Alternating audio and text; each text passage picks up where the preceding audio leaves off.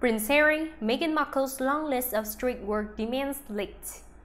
A leaked document revealed that Prince Harry and Meghan Markle have many strict demands should they give high-profile speeches.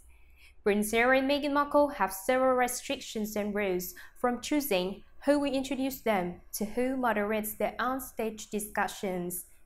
The list of Prince Harry, Meghan's demands. According to the Telegraph, the Harry Walker agency HWA issued the Sussexes' alleged virtual events request form, which indicated their so-called orders. The document that the publication obtained revealed the price for every virtual speaking engagement is a whopping $1 million.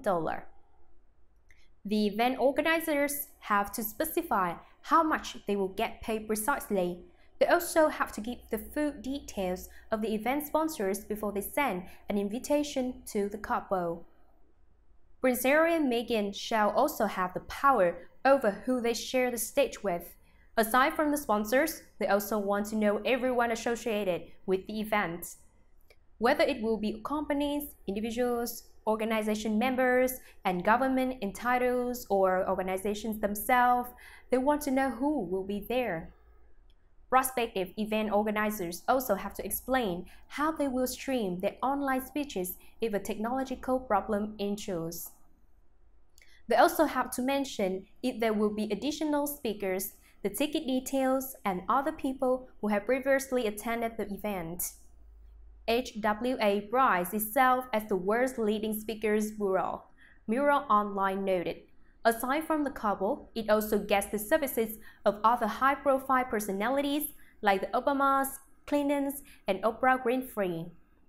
The Sussexes' new Netflix deal. Meanwhile, talking about Prince Harry and Meghan's new Netflix deal, the company's co-CEO Reed Hastings believes their works will be the most viewed content. It's gonna be epic entertainment. So excited about that deal, he told CNBC's Squawk Box by town and country.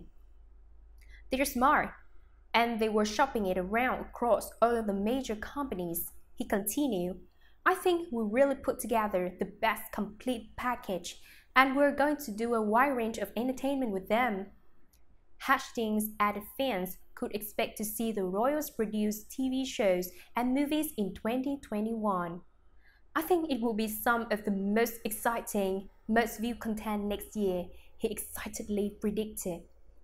In a statement to the New York Times, Prince Harry and Meghan said they could be focusing on creating content that informs but also gives hope.